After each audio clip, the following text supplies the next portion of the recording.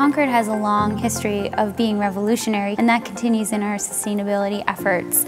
A lot of the reason that people love Concord is because of the abundance of natural resources that we have and the history.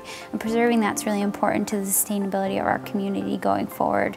So when I think about a sustainable and resilient Concord in the future, I think about a community that's preserved our nature, preserved our history, and one in which everyone can thrive and prosper.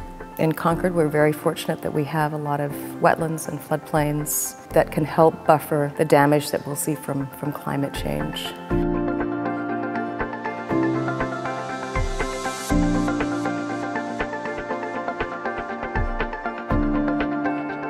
We've seen um, many things from tornadoes to um, extreme temperatures and extreme flooding events. We had a, a, tornado in 2016 which struck in the middle of the night, uh, which was a real surprise, and it affected neighborhoods and some severe damage to some homes, uh, caused power outages, and caused, you know, really for a number of days and weeks uh, for us to recover from that damage. The world is subjected to extreme weather, and in New England, what that means is during the summer, we're seeing hotter temperatures, very little recharge or rainfall, and that can happen for months at a time. Many of the um, winter storm events, for example, have, um, have seemed to evolve over time.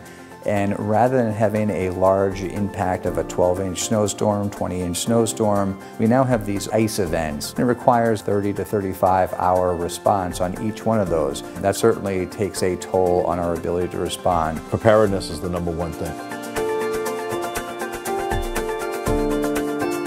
Water, food, a battery-powered radio, visiting websites like ready.gov, emergencykit.com. The American Red Cross website has advice for preparedness kits. Preparing for climate change is a team effort and it's going to involve everyone in town taking action to be prepared themselves and to be prepared as a community.